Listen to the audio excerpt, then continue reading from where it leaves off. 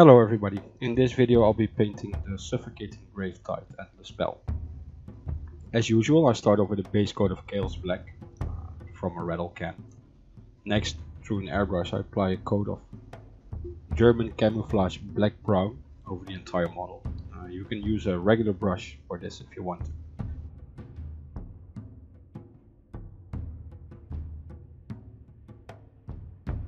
Next using khaki brown again through an airbrush I highlight the model. If you don't own an airbrush you can uh, do this by dry brushing as well. I use the airbrush to speed up these uh, first couple of layers a bit.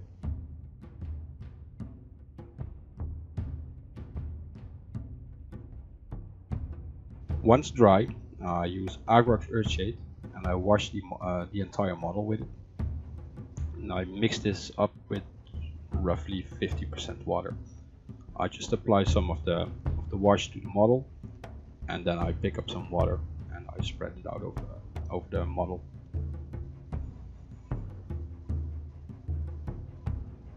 Once dry, I use hem and dry brush the, um, the upper parts of the of the model with this.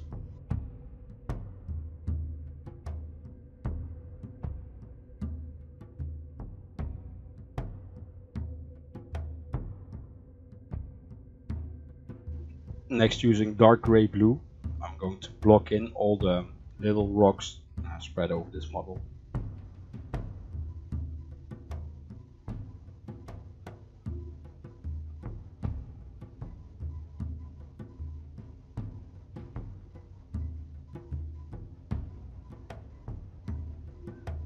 Then using medium sea gray I dry brush these rocks. Uh, it's okay if you go a little bit outside of the actual rock. Uh, it, it's not really gonna matter. It will just create an appearance of a bit more smaller uh, rock rubble surrounding the bigger rocks. Then using gray, I repeat this process to strengthen the color up a bit more.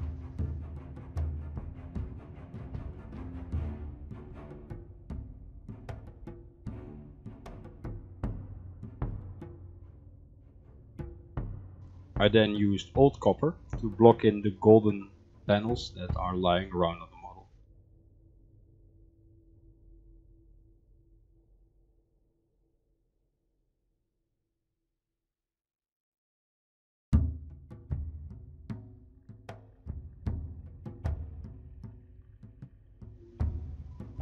These parts are then washed using Reikland Fleshshade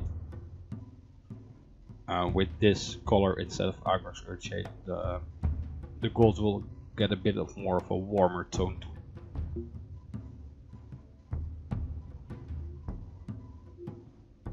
Then using using Retributor armor, I dry brush the golden parts.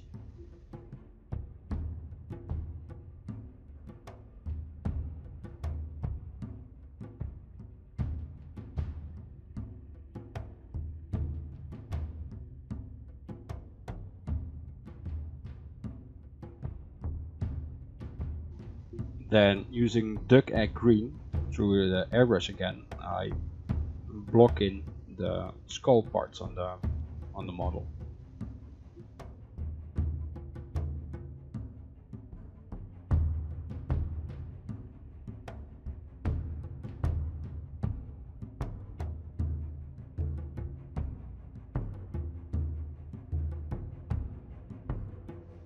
And this is then followed by a top-down highlight using white. I do this at roughly a 45 degree angle, just hitting the front of the skull, going down to its uh, upper jaw roughly. And for this, uh, for the previous two layers, it goes that um, doesn't really matter if you hit the areas in between a little bit. It will enhance the effect later on.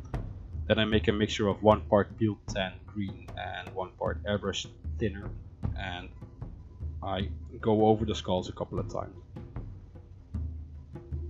Doing this in bursts, not in one straight go. I'm making sure that um, um, the mixture isn't going to pool in areas.